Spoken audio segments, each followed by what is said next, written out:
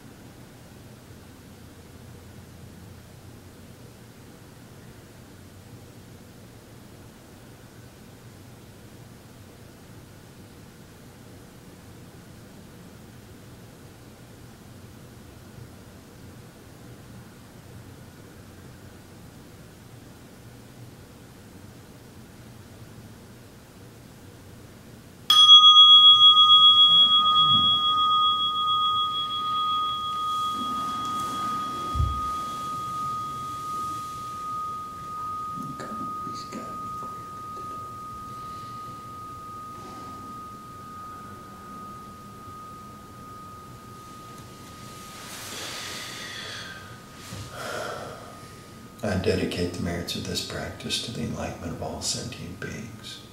May God bless us and keep us and give us peace.